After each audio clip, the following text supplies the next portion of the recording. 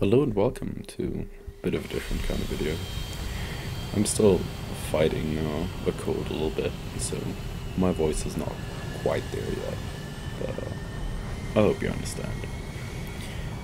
What I wanted to address with this video is just a little problem with top tier, or better to say, the top tier players themselves.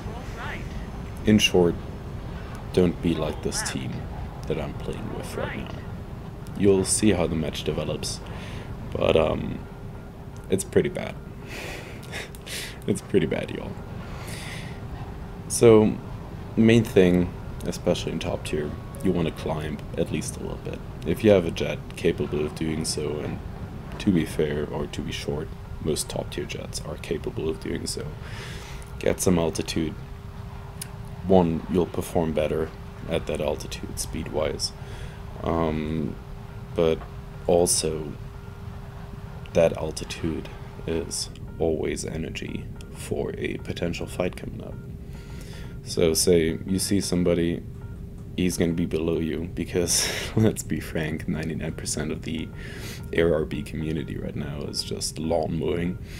Um, and yeah, you'll just be way quicker, way higher, and you'll have the uh, the advantage flat out.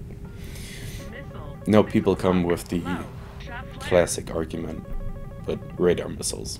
What about radar missiles? Actually, you see a perfect example of the radar missiles in game right now. And if you cannot handle these situations at um, high altitude, you need to learn how to notch missiles.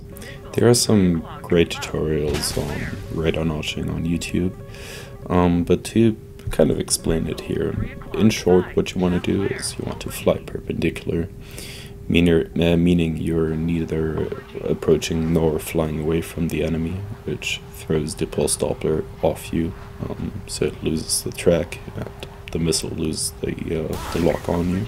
So you really want to keep them on your side to your like 3 or 9 o'clock and uh, play with the angles a little bit.